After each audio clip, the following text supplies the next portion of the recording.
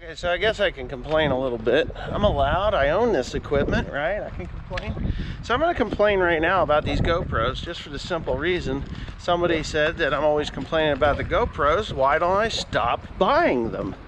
Well, I, I don't keep buying them. My first GoPro was a GoPro Hero 2 that I bought, Jesus, way back in probably 2007 or 8.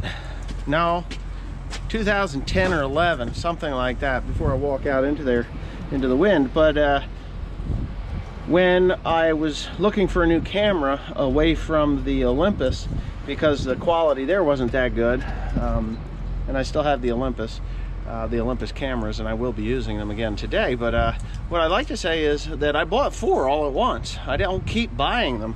I bought four all at once, and I've been disappointed with all four of them. They're all the same. Um, things happen like uh, you shut it off and it goes into some fucked up mode where it'll drain your battery down to nothing within two minutes. Uh, another time is you can turn it on and hit the record button and it'll say it's recording but it's not recording and everything's kind of frozen, that sort of stuff. Uh, there's just a whole host of different problems with it, but I'm not going to just throw these cameras away uh, because they don't work out the way I want them to. I would love to have a DJI, DJI Osmos or Osmosis or whatever the hell they call that thing. It's they're great. I'd love to have it, and I think I'm going to buy it. Uh, it's just everything's a lot of money. These cameras are three, four hundred bucks a piece now. Um, this particular one, uh, what else does it do? It eats memory. Uh, what I used to be able to put on 32 megabytes I can't put on 64. I put a 128 megabyte card in this thing and it's full in three days. And three days of filming really isn't that much for me. Uh, so 4K, 1080, 720, just, oh, and it doesn't transfer to 4K from this camera, which drives me nuts because I see a lot of 4K video out there and I can't do it because these cameras. So anyways, that's the complaint. Now I'm gonna go do some lime spread.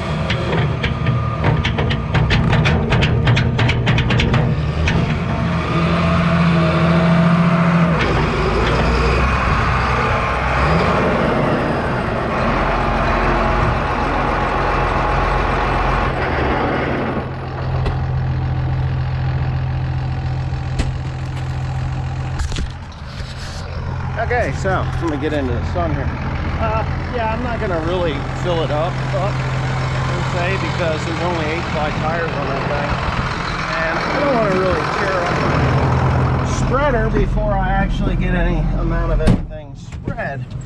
But we are gonna talk a little bit before I stick you onto the back of that said spreader. it can hold about 12 tons without any, or yeah, not 12 tons. Can hold um, 10 tons without any problems. Not too much problems or concern from me. I'm afraid I'm going to break something when I make these corners up. Matter of fact, I'm quite concerned I'm going to break something when I make these corners. I don't want to make them too sharp. Because, you know, these tandem axle gizmos, I'm full. And all it would take is, I should have moved that tractor just a little bit more than I did. Let's see what happens. Tires seem to be given okay. Anyway, yeah. Woo! Anyway, uh, yeah. The, uh, I'm gonna go to the bottom field first and spread that. So I ripped that. And it was deer season this past week. Uh, it's Sunday now, so no more deer season. A six day firearm. And uh, that's that. But I would like to address some of the issues that were, some of the comments that I had while I'm on my way down to that field. And one of the major comments was, you need to buy a belt fed uh, lime spreader. Well, this is damp lime. It's not dry lime, it's damp lime, and it wouldn't make a damn bit of difference if it was a belt or this chain. Uh, when it breaks over, when the belt or the chain break over the curve at the back or the bend at the back of the spreader, it just, because it's damp, it's just gonna break off and roll and hit the uh, lime spreader. Now, I've shown uh, some of the spread pattern. I will show more of the spread pattern here uh, in a minute, but the uh, the uh, spread pattern is not affected by that slabbing off because it throws it. And I'll show you, you can't tell that there's a surge in the spread pattern because it doesn't trickle and throw, it just drops off, throws, you move ahead four feet, drops off, throws. It's really not as uh, critical as say fertilizer would be uh, because it is lime, it is calcium, it will be worked into the soil, you know, like like uh, any other liming product, whether it's uh, like say Martin's lime or dry lime or hydrated lime or whatever. This is high calcium, damp lime, and yep. So what I normally do when I come into a new field is I do the outside rounds first. Just get that out of the way, get the outside rounds done. And that's exactly what I'm gonna do here. And then I'm going to find a spot to stick you on that spreader where you can see the spread pattern uh, as it comes out the back and are pleased with what it does, just like me. Uh-oh. So there it goes. You'll see it when I get, you'll see it when I get into an area where you can actually see it. Um, yeah, well here, maybe you can see from here. You can see it's slabbing off, but it's not making any, any more here or there. It's just putting it on the ground like you would expect a lime spreader to do. I know somebody says, oh, you're gonna destroy your uh, spinner motors. So be it, man. I mean, I could park it in the shed and look at it for the next 25 years and let them rust up. But, you know, if you don't use shit, it don't break. You know that. At least you ought to. If you're from the city or, or just too stupid to realize that anything you don't use will never ever break, it will just deteriorate to the point that you can't use it. Thus, I guess, being broken, right? But anyhow, yeah. I really need to pick up the speed on that one because I'm putting too much TIG. That's the end rows, the headlands as you want to call them. Now I did rip this ground. I ripped the whole entire field until I broke the ripper, broke a shear bolt, and then I just went up and I never finished. But the farther I went down, the less compact the ground was, so it really wasn't that important to me to rip the whole thing. Um, yeah, that's just the case here. So this field here really doesn't need a whole hell of a lot of calcium or lime. Uh, this was more of a compaction issue down here and uh, that that's about it. But I am going to take the skid steer or the brush auger or something, loader tractor, and push all that stuff back, reclaim some of the field that's been lost due to, well, there's a hornet's nest. some of the field that's been lost to overgrowth. About 10 years ago or so, and it might even be on YouTube, um, I had trimmed all these trees back, all of them back, and of course now they're they're encroaching the field again. New growth, yeah. So anyway, there's a nice red eight, red oak that I ought to take for a log. Another one there, but yep. So that's how it goes. When I get up to the top of the field and start going back and forth, I will go ahead and. This is where standing corn stalks is going to definitely impact the distance that this thing throws. So you kind of got to watch that as well. Um, yeah, but is what it is, right? It is what it is, as they say. And I can tell this soil isn't really terrible even without the soil test, but I know that it's in that low six, six one, six two range. Even though I put this is the field I got 370, 373 bushel to the acre on this eight acre field. As you can see that low-lying grass or uh, weed that's there, that's chickweed. Chickweed loves sweet soil, not sour soil. So um, the pH on this is really wasn't too bad. It was in that 6.4, 6.5, I believe this field was. I'd have to go back on my records and look. But for the most part, chickweed grows where the soil is sweet, not sour. Um, so that's just one of those those things. But I did put a lot of compost on this ground when I planted it this spring. I mean, 15 ton to the acre, right? approximately 15 ton to the acre 10 to 15 ton it was maybe and maybe it was only 10 i was aiming for 15 let me tell you it was on here thick thick as thieves baby and uh, when you do that you get a lot of organic matter a lot of that co2 or carbon that you're putting into the soil from the uh, from the uh, from the compost that i was using this was compacted, you could tell by the slots that it left, not so much uh, chisel plowing effect from the ripper, this down in here as well. And the farther I went down, the less it was compacted, but that makes sense because a lot of the traffic is up at this end of the field. So anyway, with that, I'm gonna shut up and throw you on the back and you can watch it spread away. So hmm, hopefully, I don't have too much trouble.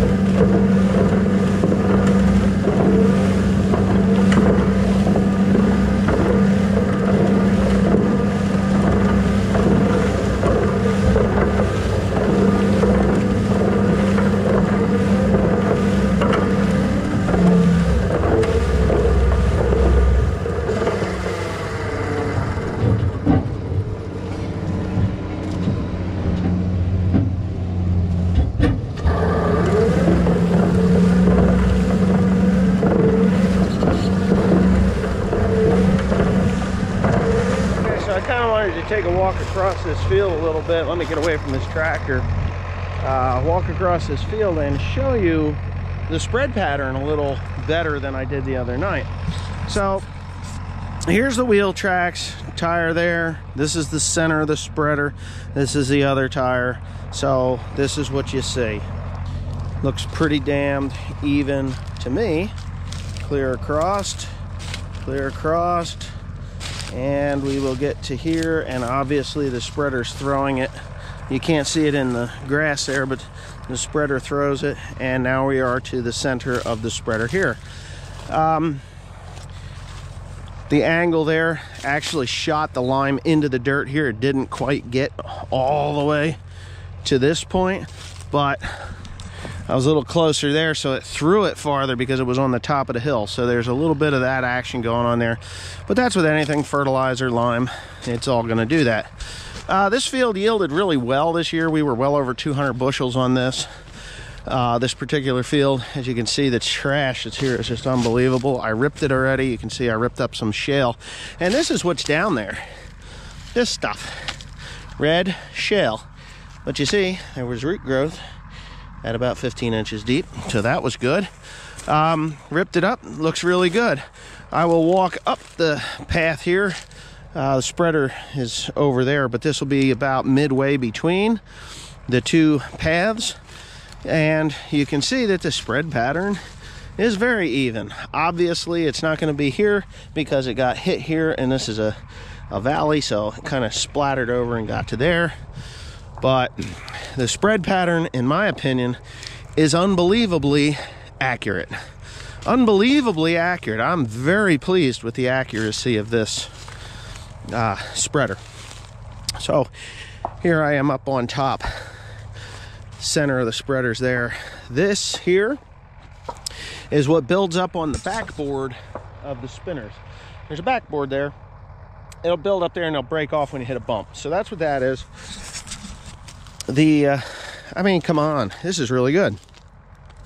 So if you know anything about calcium in acidic soil uh, in this area the acid comes from below in the shale it just kind of comes up from below. And when I ripped it I had every intention of putting god they're shooting like hell over there. I ever had every intention of getting this lime on here so that it would have the chance to actually work its way down those slots and sweeten that soil just a little bit.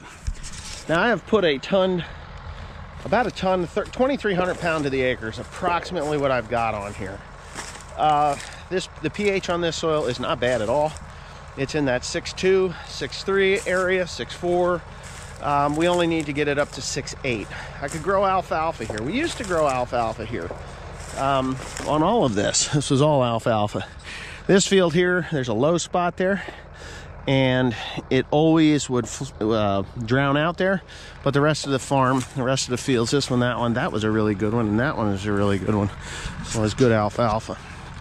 So I'll show you. Here's another spot where that splashboard or backboard it builds up and drops off, and that's every spreader has it. It's so it doesn't throw it forward and hit you, you know, because these things will throw it forward, and I'll show you what that is right up here. I did double up here a little bit. Uh, I got a little close because it's the end and they're short rows. So this is what I'm talking about. It'll, oops, somebody's running semi-automatics. So that's exactly what this is. Right, so it's lime, it's not fertilizer. I know there was some guys that are saying, oh, you should put a belt on that. Well, I just bought this spreader, guys. Um, it's a litter spreader. Ooh, that's a missile a rock. Uh, it's a litter spreader. It's not a fertilizer spreader. Uh, yes, GVM does sell a litter spreader, a litter lime spreader that has a belt on it. No matter how it comes off the back, this is compressed. This lime is compressed as it comes off of that door. This stuff is compressed. And as it comes, whether it's a belt or not, it's like a piece of clay you know? It'll come out off that belt and when it makes the corner when the weight you ever okay i can explain this. You ever go into like a truck stop and you see all those quarters and you keep feeding quarters into it quarters into it and the quarters are like how are those quarters they're like hanging over the edge but they're stacked up tight enough that you can't get them to to fall that's exactly how that lime is you keep putting quarters in well as that lime keeps pushing out, eventually the weight of the lime gets too heavy and then it will drop down onto the spinners and that's why you get that surging appearance. Somebody says, oh, close the gate down and speed up the, uh, the chain. Well, that would just cause bigger problems because this spreader in the and you can look it up Chandler spreaders. It says never go any the gate never spread lime or litter under four inches on the gate. So I'm at four inches. I'm running at six miles per hour with a 40 foot spread and eight revolutions on the bed chain which gives me like 2200 pounds uh, to the acre that's where I want to be 22 2300 pounds the acre. That's what I want. Probably when I work this ground this spring to put in whether it's corn or beans on this uh, when I work it I'm probably going to come in with another ton to the acre. Just for shits and giggles. Or a half a ton to the acre doesn't matter. Get enough calcium in that ground to, so that these, these roots are as healthy as possible. And my my hitch pin is falling off there it is the hitch pin the clip is gone. Anyway gonna go get rid of the rest of this stuff. I don't have much in there yet. And uh, I hope you enjoyed it. Uh, I don't know what the footage looks like. Uh, my Olympus camera was dead. just like the just like the GoPros and uh, now Olympus has stopped making cameras.